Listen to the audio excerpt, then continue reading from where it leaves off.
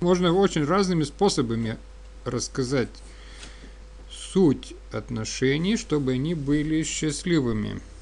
Один из вариантов, как это можно объяснить, это то же самое, что при изготовлении пищи. Допустим, если вы хотите изготовить хорошую пищу, вы должны знать рецепт.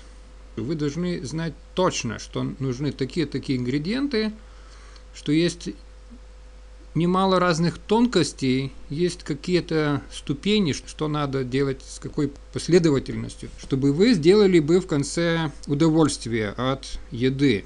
Так очень похоже и в отношениях мужчины и женщины, только это намного раз сложнее. То есть в отношениях мужчины и женщины есть очень много якобы мелочей, якобы неважных вещей. Но если мы все эти секреты и нюансы и тонкости одна за другой понемножку усваиваем и познаем и понимаем, чем больше тонкостей мы понимаем, тем больше удовольствия, тем больше счастья в отношениях пары. И наоборот, чем меньше углубляются и меньше понимают, и меньше интересуются отношениями друг с другом мужчины и женщины, тем меньше счастья, тем грубее эти отношения, тем неуклюже их отношения между друг другом.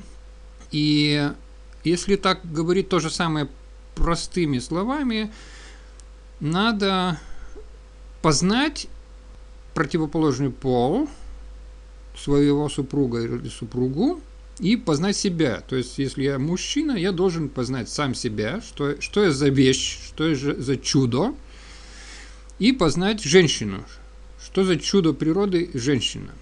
Чем больше я познаю себя и чем больше я познаю женщину, тем я корректнее, точнее и лучше общаюсь с женщиной. И наоборот, чем лучше познает женщина мужчину, его мышление, чувства, его поведение, его ум, его свойства, тем лучше она понимает, как с ним общаться, как с ним вести себя. И это чудо, эти знания об этом чуде, они нужны ей не только, чтобы она общалась с мужчиной, с ее супругом, они нужны и при общении с сыном, и при общении с братом, и при общении с отцом, с любым мужчиной в мире. Но самый лучший познать мужчин, мышление мужчин, это через своего супруга, так как она с ним общается каждый день, постоянно. И это чудо каждый день в ее жизни – и если она игнорирует его, она, конечно, будет, будет иметь много проблем. И наоборот, то же самое с мужчиной. Если мужчина не желает познать женщину, ее мышление, ее физиологию, ее поведение, ее глубин, глубины ее души, он не будет счастлив. Он должен понять ее, изучать ее как чудо природы, все возможные ее аспекты. То же самое он должен понять сам себя, сам себя как мужчину. Кто он такой, что это за создание.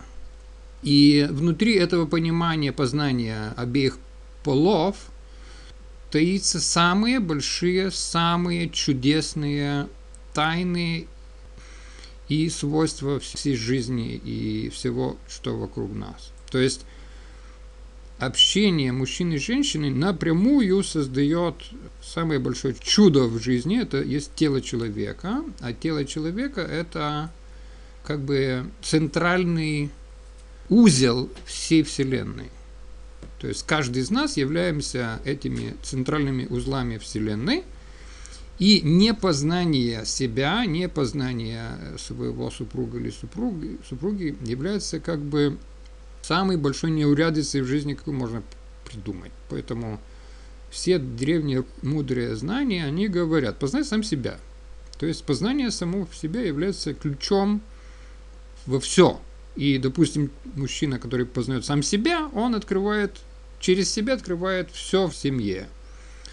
Он вдруг один день открывает себе, что он является мужчиной. Он до этого ничего не знал, что такое мужчина. Ничего абсолютно. Он вдруг понимает, что у него какие странные свойства, которых нет у, женщин, что, допустим, его мышление намного более грубые и неуклюжие, чем у женщины, что, допустим, у него память слабее, чем у женщины, что у него понимание э, цветов и нюансов оптических намного слабее, чем у женщины и так далее, и так далее. У него чувство грубее, чем у женщины, а, а мужчина до этого думал, что он самый хороший, самый мудрый, самый как бы с самыми лучшими свойствами. То есть в этом таится много-много открытий, и то же самое для женщины. Если женщина изучает сама себя, она открывает невероятные вещи.